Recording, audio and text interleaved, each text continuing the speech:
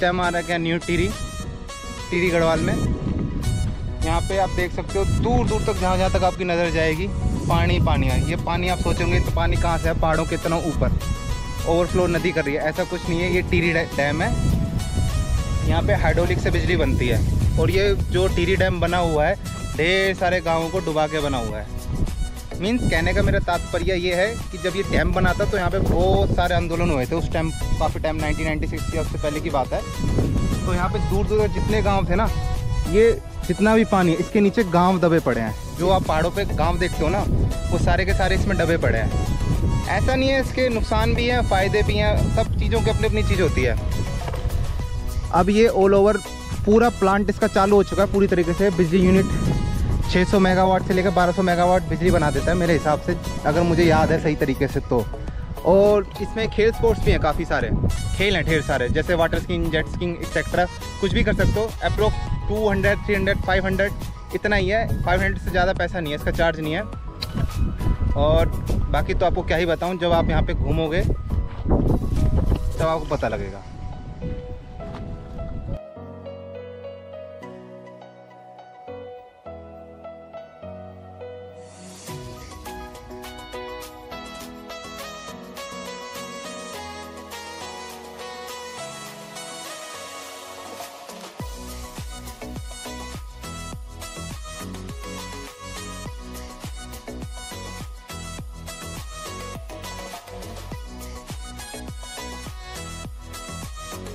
एक बार फिर से आपका स्वागत है। इस टाइम हम टीरी के एग्जैक्ट पॉइंट पर आ रखे हैं टीरी डैम के, जहाँ पे वाटर स्पोर्ट्स हैं थोड़ी देर पहले जो मैं आपको बता रहा था। आप देख सकते हो, यहाँ पे जेट स्किंग सुपर स्किंग जो भी आप चाहो वाटर बोट जितने भी वाटर स्पोर्ट्स हैं, सारे आप कर सकते हो। इवन आप वाइल्ड लाइफ जैकेट पहन के, इसमें अगर आपको ज़्यादा वोमिटिंग वगैरह होती है, जैसे अभी प्रकाश को कर रहे थे हम, इसने कहा, मुझे वोमिटिंग वगैरह होती है, इसमें चलाने से, जैसे वो आड़ी टेढ़ी चला रहा है इसे मना कर दिया। तो लाइफ जैकेट करके भी आप कर सकते हो। एग्जैक्ट बहुत अच्छी लोकेशन है। ये आपका पैथ है जिस पर आप घूम सकते हो। शाम के टाइम जिस टाइम बरसात धीमी धीमी हो रही है तो वो तो आनंद ही आ जाए अगर आपके साथ कोई अच्छा पार्टनर हो तो। वट यू मीन ना? बाकी आप समझ सकते हो। ये हमारे प्रकाश इनको जो उल्टी होगी अभी एक पराठा खाया इन्होंने। और बेचारे को यूँ बोल सकते हो हाइड्रेशन हो गया। डिहाइड्रेशन डिहाइड्रेशन नहीं हुआ डिहाइड्रेशन मतलब पानी की कमी होती है। लड़के को थोड़ी थोड़ी अंग्रेज़ी पहली बार फंसाए इंसान किसी चीज़ में वरना ये कुछ भी चीज़ कह दो कि भाई ये चाहिए वो चाहिए तुम ये कह दो ना पानी में हेलीकॉप्टर। हाँ हो जाएगा हो जाएगा। ना तो कहनी नहीं है ना नहीं कहना भाई। यार हम है कोऑपरेटिव लाइन के बंदे ठीक है? हमने करा है सदा कंपनी में मार्केटिंग में काम। अब मार्केटिंग में हमें हाँ बोलना ही पड़ता है। कोई हमें सौ का टारगेट दे दो सौ का टारगेट हाँ जी जनाब हो जाए भाई इसने मेरे से इतनी प्रोमिस कर रखी है कि ये कर दूँगा वो कर दूँगा। हाँ हो जाएगा सब हो जाएगा सब। होता कुछ नहीं है। घर में इसके चौपर उतरवा लो वो भी उतर जाएगा। लेकिन ये नहीं पता उतरेगा नहीं उतरेगा। हाँ हो जाएगा बस। बाकी गोवा से बेस्ट जगह लगी यार मुझे यहाँ पे। अच्छा होता है ना वो किसी को किसी चीज़ के लिए मना नहीं करता है। अगर मैं इससे देखो भी बोलता हूँ ओए तू मुझे पाँच सौ रुपये देगा? देखो। दिए। दे दिए देखा? अगर ये मुझसे बोलेगा ना खाना खिलाएगा पानी पिलाएगा मैं मना नहीं करूँगा। तो दोस्तों बहुत देर हो गई हमें यहाँ घूमते घूमते व्यू का भी पूरा मज़ा ले लिया। जितना देखना था देख लिया है। और बाकी अगर मैं स्पाइडरमैन होता तो इस पहाड़ से उस पहाड़ से यूँ करके चला जाता। लेकिन इस पहाड़ से उस पहाड़ में जाने के लिए हमें बहुत सारे कष्ट सहने पड़ेंगे। मैं कह रहा हूँ ये इस पहाड़ से उस पहाड़ पे यूँ करके चला जाता। ये अपना जाल किस पे मारता? जरा मुझे आप थोड़ा समझाने का प्रयत्न करोगे जरा इससे पूछ लेते हैं। भाई किस पे जाल मारता तो मुझे ये समझा दें। मैं स्पाइडरमैन अलग लेवल का मैं दीवारों पे मार लेता। ये है स्पाइडरमैन।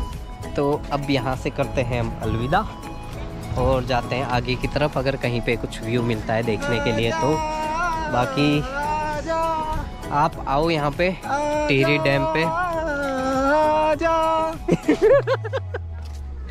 ये अपने कस्टमरों को ऐसे ही बुलाता है। तू बुलाएगा बेटा। ये अपने दोस्त की ओपनिंग करा रहा है निंडकोला गाँव में वहाँ पे ऐसे बुलाएगा।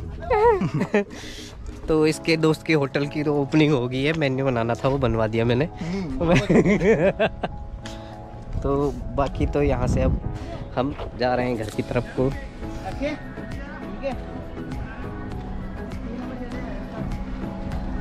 अगर आपको शिमला वगैरह जाना पसंद है और, और आप ट्रैवलर हो तो भाइयों यहाँ के लिए सजेशन दूँगा मैं कि आप यहाँ पे आइए। क्योंकि यहाँ पे वाटर स्पोर्ट्स भी सारे हैं आपके बाकी मनीष यहाँ आगे पैराग्लाइडिंग वगैरह होती है कुछ? रोप जंपिंग होती है ऋषिकेश में। ऋषिकेश में इस साइड में नहीं है कुछ?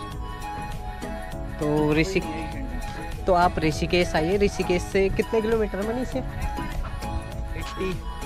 एट्टी? एट्टी एग्जैक्ट नहीं पता मैं 80 किलोमीटर तो है लेकिन आपको मतलब पहाड़ों में घूमते फिरते आओगे तो पता नहीं पड़ेगी इतनी। हाँ वो बात अलग है, गाड़ियों में घूमते आओगे तो वोमिटिंग सी हो जाती है। लेकिन मैं ये बोलूँगा आपको कि आप कोई बाइक वगैरह हायर कर लो। अपना व्यू का मज़ा लेते हो, क्योंकि गाड़ियों में तो भाई एक साइड का ही दिखता है।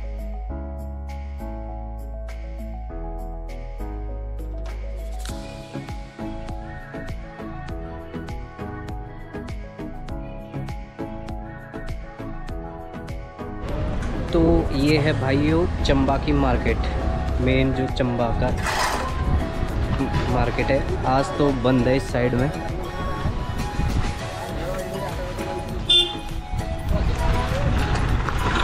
अभी तो यहाँ पे फ़िलहाल पूरी मार्केट बंद है आज के दिन, और बाकी ये है जनता रेस्टोरेंट।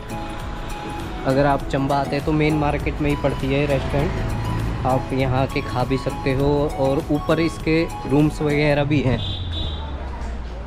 तो अगर मार्केट में स्टे करना है तो आपको यहाँ से वैसे पार्किंग वगैरह भी ये देते हैं भैया। बाकी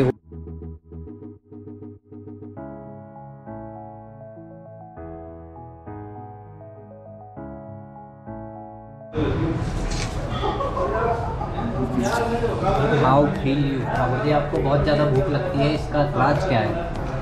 क्योंकि मेरा दिमाग चाटने के लिए जैसे बहुत लोग होते हैं। काम इनका होता करना हमें पड़ता है।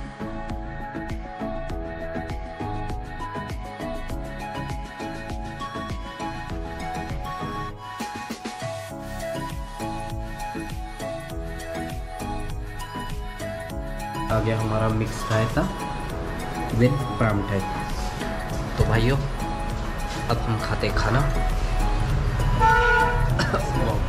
अचार भी आ गया।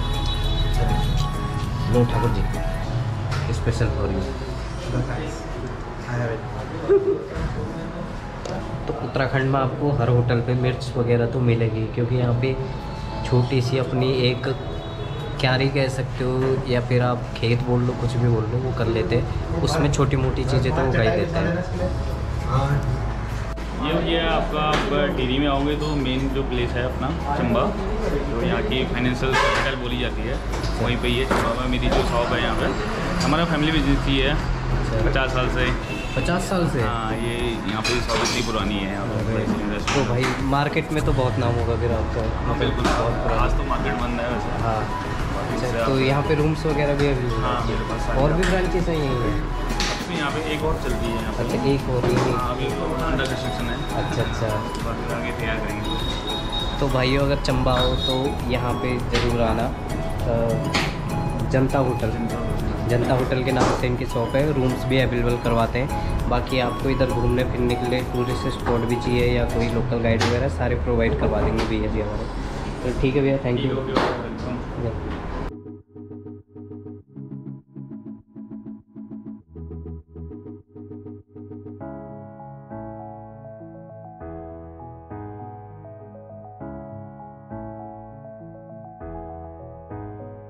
दोस्तों जो पीछे आप ये गाँव देख रहे हो ये है चंबा। अ, गाना भी है मायनी मेरी शिमले से कुछ ऐसा गाना है मतलब गढ़वाल का।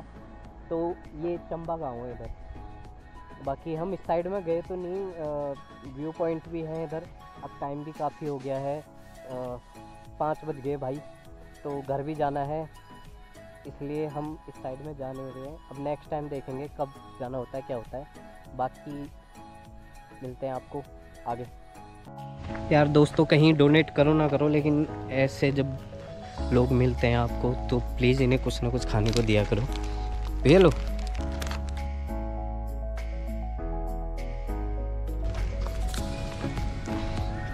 तो ऐसे लोगों की हेल्प करनी चाहिए। अब मुझे तो दिखा नहीं, लेकिन ठाकुर जी को दिख गए थे। उन्होंने कहा कि हम बिस्किट वगैरह डिग्गी में पड़ी है, स्कूटी के तो दे दे करके तो दे दिया। बाकी एज और विश।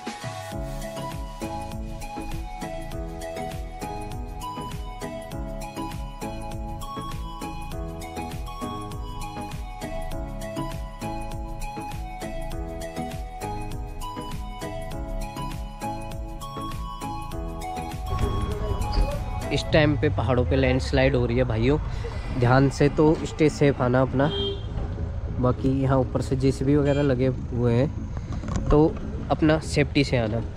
ओ भाई। ओ तरीके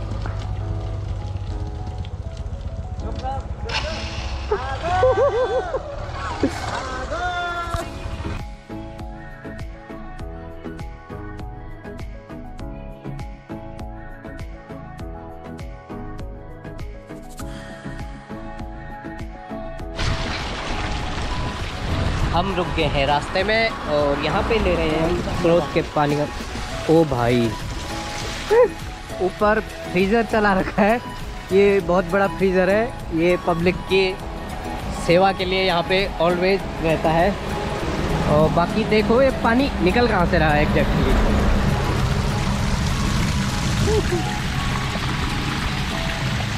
मतलब इतना बड़ा पहाड़ है।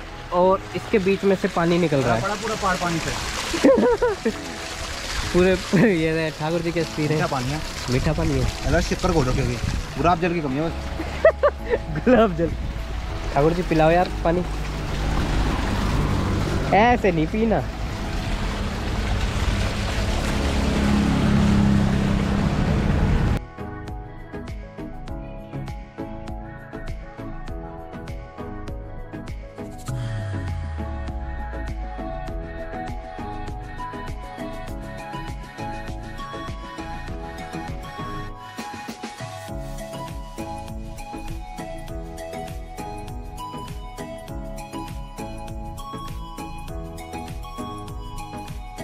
तो राम राम दोस्तों आ गए हम छोटे से ब्रेक के बाद। अभी आपको बहुत नज़ारे, बहुत कुछ दिखाना बाकी था, पर क्या गए हमारे कैमरे ने हमारा साथ छोड़ता जा रहा है। सात एक परसेंट बची है तो सात होता है शुभ अंक हमने कहा, चलो लगे हाथ बनाई ले।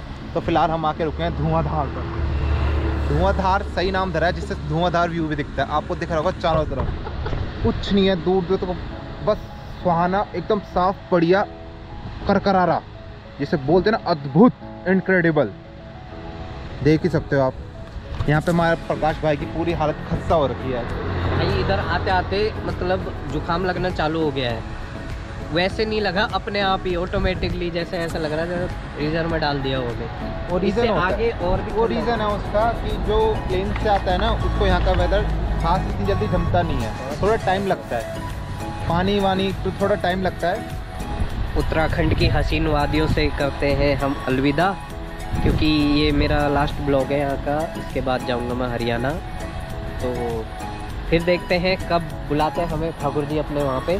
उसके बाद नेक्स्ट टाइम घूमेंगे इस साइड में और अपना घूम फिर के आराम से दूसरी जगह देखेंगे। और इसके बाद आपको पता नहीं डेली ब्लॉग्स मिलेंगी या फिर ट्रैवलिंग मिलेगी, अब तक तो सारा ट्रैवल में ही चल रहा है। अगर आपको मेरा ब्लॉग पसंद आया हो और यहाँ का व्यू वगैरह अच्छा लगा उत्तराखंड का तो प्लीज़ विज़िट हेयर और मेरे चैनल को लाइक, शेयर एंड सब्सक्राइब ज़रूर कर देना।